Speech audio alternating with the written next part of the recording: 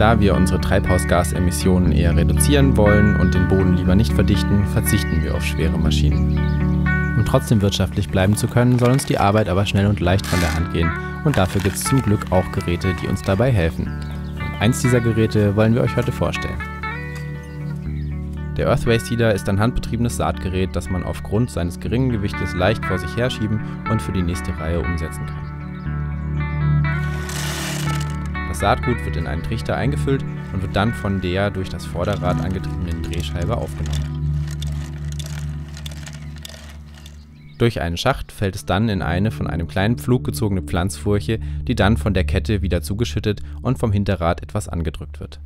Die Saatgutaufnahmescheiben gibt es in unterschiedlichen Größen und der Pflanzabstand ist durch die Lochabstände meist passend vorgegeben. Wenn man doch mal größere Abstände braucht, dann kann man einfach jedes zweite Loch mit Silikon oder Paketklebeband zukleben.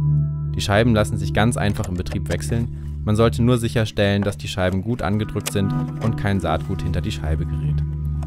Die Pflanztiefe kann man auch zollgenau einstellen. Mit einer ausklappbaren Schiene lässt sich der Abstand zur nächsten Furche einstellen, falls man sich nicht auf sein Augenmaß verlassen will.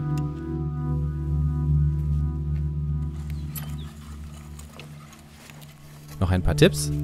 Im Betrieb ist es besser, den Earthway leicht schräg zu halten, um wirklich sicherzustellen, dass das Saatgut auch in jedem Loch der Saatgutaufnahmescheibe landet. Damit der Pflug gut durchkommt, sollte das Beet recht krümelig sein, wie das bei Market Gardening auch in der Regel so üblich ist, da man ja sowieso jede Saison Komposterde hinzukauft.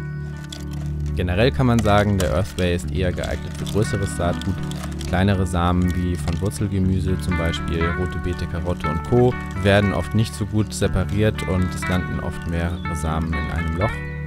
Für kleineres Saatgut und generell für bessere Haltbarkeit können wir den Junk Seeder JP1 empfehlen.